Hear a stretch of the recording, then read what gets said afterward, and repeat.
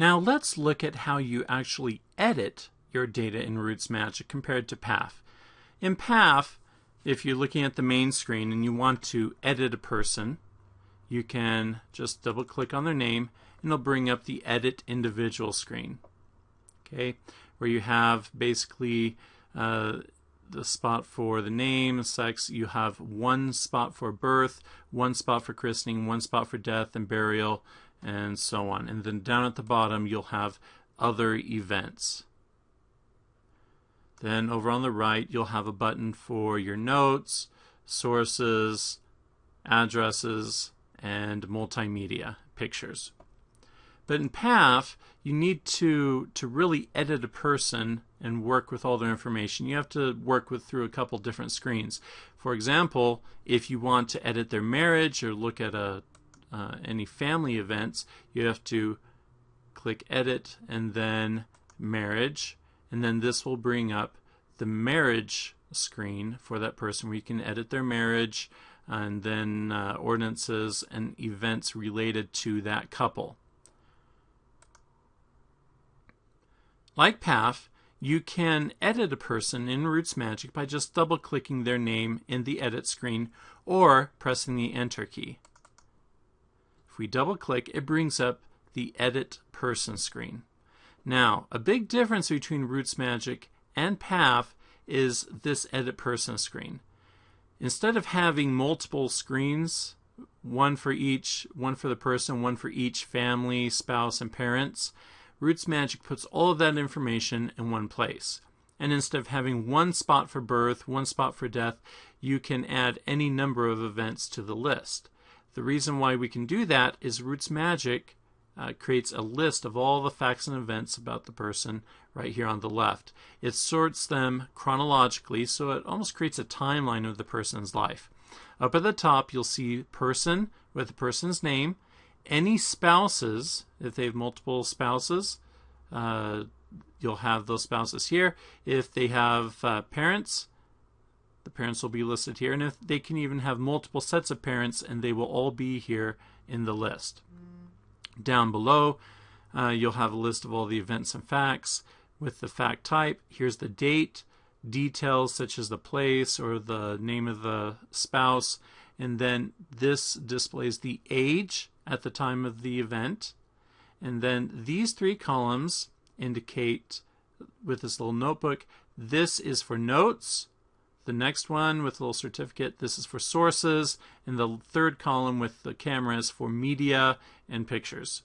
And you'll see if there is a checkbox in that column, it means that the person has something uh, for that for that event or uh, that piece of information. We'll have the note source or a picture. For it. for example, we see right here there is a note. There's a checkbox in the note column for parents, which means that we have a note about that particular family. They met while attending Utah State University and dated for about a year before they were engaged.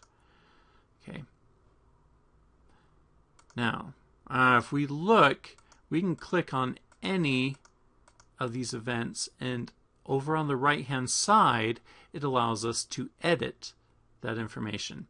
So if we want to edit the birth, we just click on birth and over on the right hand side we are allowed to change the date, the place, place details, proof, uh, note sources, uh, sharing the fact, and so on.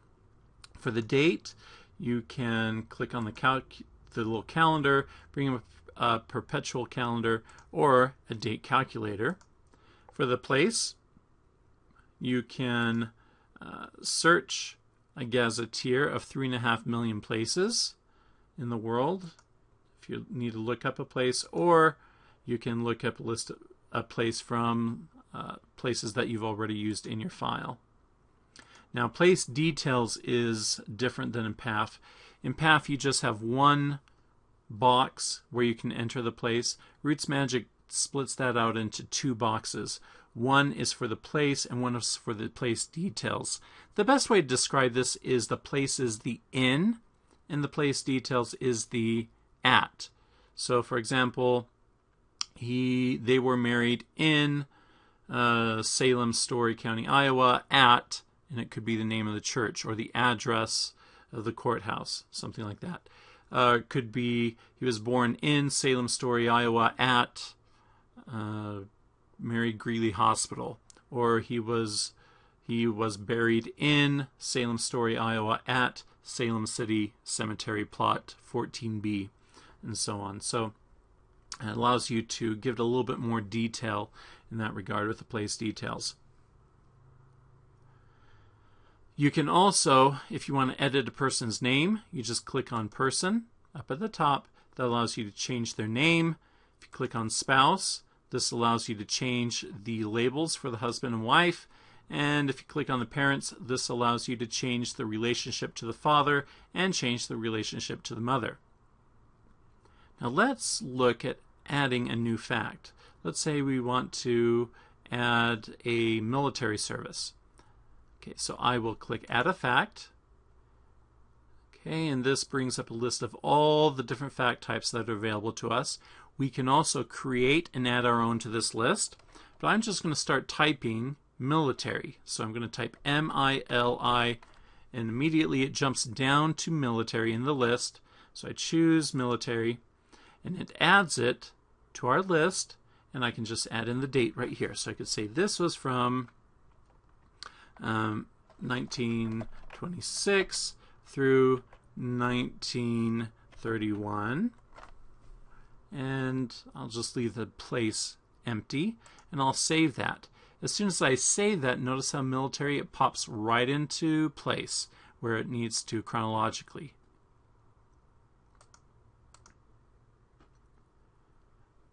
If I want to add a note for military, I just click right here in the note column and I can write notes about James's military service. If I want to add sources, I click sources, add new source, and uh, this came from military, I just type military again, and I'll have um, military records, and I can just fill in the blanks for the military records of where I found that information. Then lastly, if I want to add a picture, I click Media and Add New Media. I can scan or choose an image from disk. And uh, I choose the picture and I can add it to his media album. Now, a common question that we get from PAF users is where did my notes go for a person? Where did my sources, where did my pictures for a person go? Well, the way PAF works is it puts like the notes and pictures, it puts them, it attaches them to the person and not to the actual events or the facts. So you will find the notes that you entered in PAF for a person will be up here on the top line under person and right here in the notes area. If you click right here, you will see the exact notes that you typed into PAF.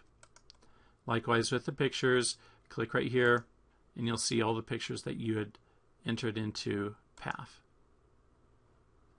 And that is how you edit people in RootsMagic.